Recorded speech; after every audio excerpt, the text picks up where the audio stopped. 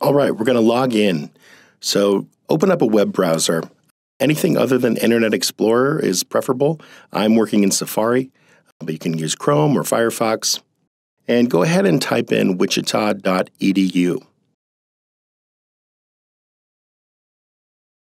And that takes you to the homepage. Now, when you get a chance, when you get there, go ahead and scroll down to the very bottom of the page.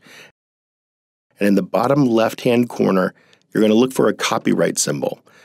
If you hover your mouse over that, you're going to see that that's a clickable link. That is our direct edit link. We can click on that and log in to the website. That copyright symbol is on every page on the site. And now we're going to log in using our MyWSU ID and password. You won't need a new user or password. You're just going to use your MyWSU ID and password. And go ahead and click Login when you're ready.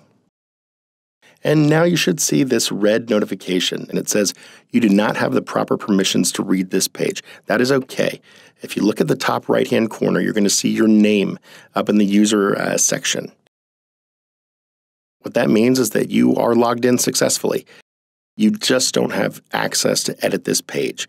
So now it's about navigating somewhere else, moving away from that page, and finding the page that you do have access to edit. And when you get a chance, you can also log out by going to your username, hovering your mouse over that, and clicking log out.